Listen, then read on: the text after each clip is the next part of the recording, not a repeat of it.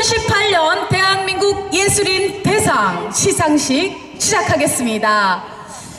네, 이번에 또 쟁쟁하게 네. 또 후보들이 많이 올라왔었는데, 네, 이번에 수상할 가수분을 소개하도록 해보죠. 네. 오늘 발표해 K-pop 주시죠. 가요 베스트 100 성인가요 부분 대상! 대상 발표해 주세요.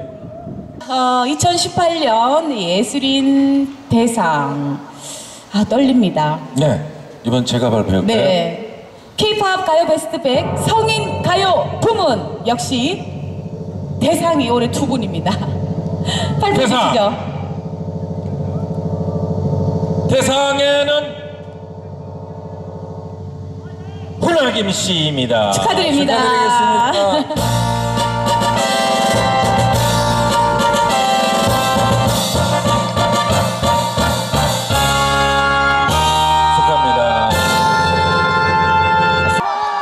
좋습니다.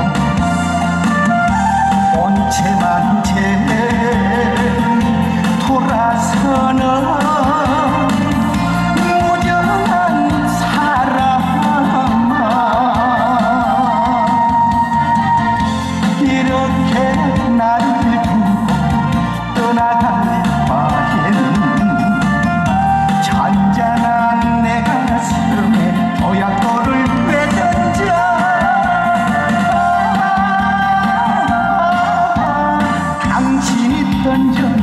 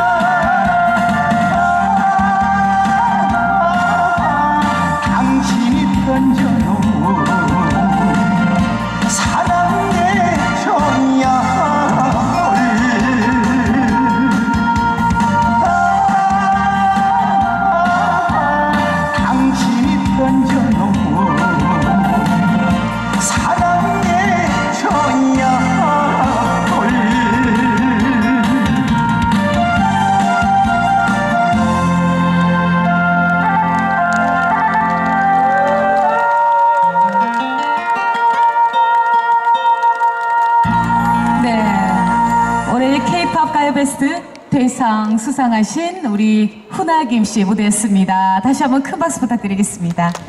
아, 역시 올해도 굉장히 많은 활동을 하셨는데 내년 2019년도에도 기대를 해보겠습니다. 고맙습니다.